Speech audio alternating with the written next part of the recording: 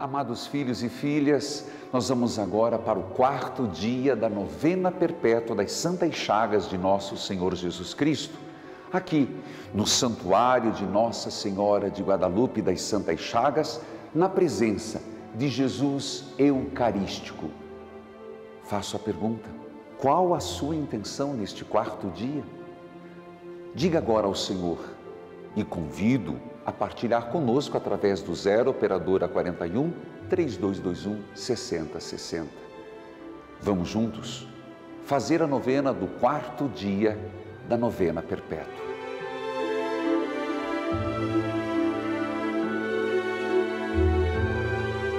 Por suas santas chagas, suas chagas gloriosas, o Cristo Senhor me proteja e me guarde.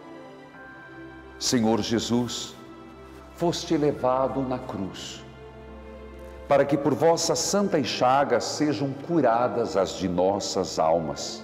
Eu vos louvo e agradeço pelo vosso ato redentor. Carregaste em vosso próprio corpo os meus pecados e de toda a humanidade nas vossas santas chagas, coloco as minhas intenções, minhas preocupações, ansiedades e angústias, minhas enfermidades físicas e psíquicas, meus sofrimentos, dores, alegrias e necessidades. Em vossas santas chagas, Senhor, coloco minha família. Envolvei, Senhor, a mim e meus familiares, protegendo-nos do mal.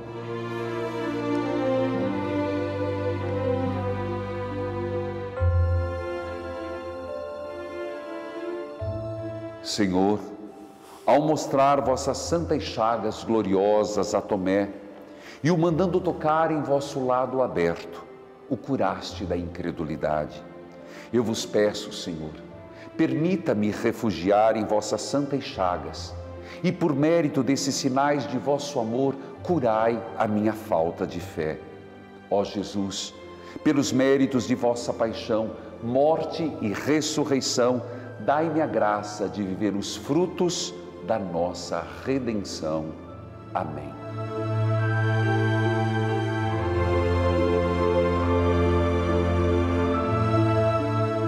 Amado povo de Deus, Deus nos cerca de carinho e proteção. Por isso, há muitos que já estão louvando o Senhor, que ligam e contam seu testemunho. Vamos ouvir este. O meu nome é Alina de Oliveira Machado, eu sou de Cascavel, mas estou morando em Curitiba.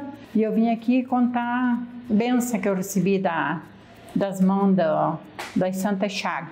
Eu, faz uns 20 anos que eu sofria muito do meu estômago, já não tenho vesícula, e eu, assim eu ia no médico, tomava remédio, depois comecei a seguir as orações do Padre Reginaldo Sarei do estômago. Eu tenho diabetes, eu estava com uma dor muito grande nas minhas pernas, estava quase aleijada. Também fui curada, graças a Deus, a, Santa Chaga.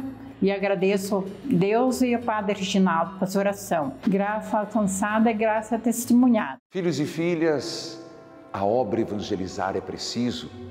Quer atingir todos os lugares como mandou nosso Senhor na pessoa de Jesus Cristo, na devoção das Santas Chagas e na caridade. Então veja este material. A caridade é o amor de Deus realizado pelo amor humano. É fazer o bem ao próximo, cuidar das necessidades espirituais e materiais de quem mais precisa, com bondade e misericórdia. A obra Evangelizar Reconhecida como benfeitora nacional, ajuda mais de 30 instituições assistenciais.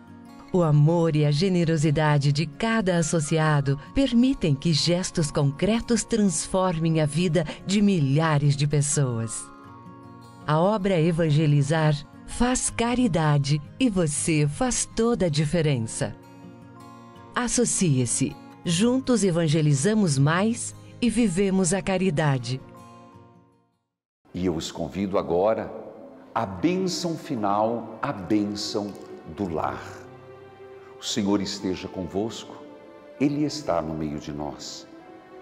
Que a divina bênção vos acompanhe, que o Espírito Santo ilumine os vossos pensamentos, Que o seu poder age em toda parte. Tudo que se encontra nesta casa, os que nela entram, os que dela saem.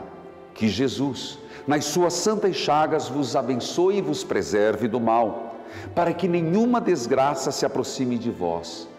O Senhor vos abençoe e vos guarde. Que Ele faça seu rosto brilhar sobre vós, que Ele se compadeça de vós e vos dê a paz.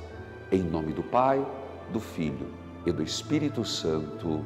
Amém. Queridos filhos, amado povo de Deus, divulgue a devoção das Santas Chagas, torne-se mensageiro, mensageira das capelinhas e todos os dias nós estamos aqui, sem parar, de novena em novena, graças e bênçãos são derramadas. Eu espero você amanhã para o quinto dia da novena.